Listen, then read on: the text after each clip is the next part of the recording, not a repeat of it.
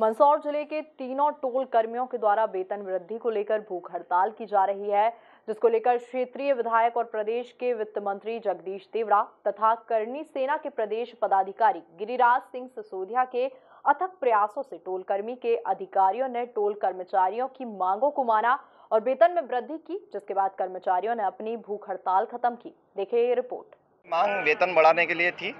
जो हर बार पाँच परसेंट ही बना, बढ़ा जाती है तो हमें कम से कम बारह परसेंट वेतन चाहिए था। तो अभी सरकार मतलब हड़ताल छः दिन से लगातार चली है तो ऊपर से जो भी साहब लोग आए हैं, बातचीत हो गई है, अब इन्होंने तीन हज़ार रुपये जो चौदह हज़ार से नीचे नीचे सैलरी थी, उनकी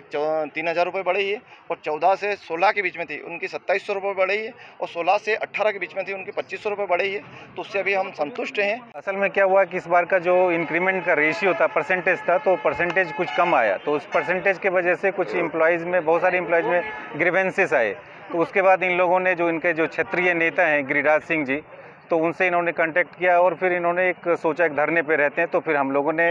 उससे बात की और एक अच्छा जो प्रोस्पेक्ट है जो एक अच्छा हम कर सकते हैं फिर हमने उनके लिए किया और अभी ये बहुत खुशी की बात है कि हमारे एम्प्लॉय हैप्पी हैं और हम भी खुश हैं और हम चाहेंगे कि हमारा इनका ज़्यादा से ज़्यादा ये खुश रहें और ज़्यादा से ज़्यादा जो भी ह्यूमन रिसोर्सेज मानव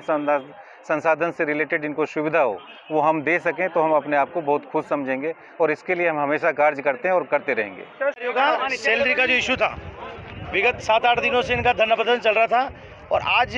भूख हड़ताल पर ये बैठे थे। क्षेत्र के लाडले विधायक वित्त मंत्री जगदीश जी देवड़ा ने इस पर संज्ञान लेते हुए, क्योंकि सभी टोल कर्मियों ने उनको एक ज्ञापन दिया था। ज्ञापन के बाद देवड़ा जी ने संज्ञान लेते हुए उच्च अधिकारियों से चर्चा करी और चर्चा में ये निर्णय हुआ कि इन सबकी सैलरी बढ़ाई जाए तो सभी की नियमित रूप से सैलरी बढ़ा दी गई है। सभी ने अपना अनशन समाप्त कर दिया है। भूख हड़ताल बैठे लोगों ने जूस पीकर अपना अनशन समाप्त किया है। इसमें परम सहयोगी गिरिराज सिंह जी का भी बहुत बहुत धन्यवाद टोल के कर्मचारियों ने किया है और क्षेत्र के माननीय विधायक और वित्त मंत्री जगदीश देवड़ा का सभी टोल कर्मचारियों ने आभार माना है। भारत माता की।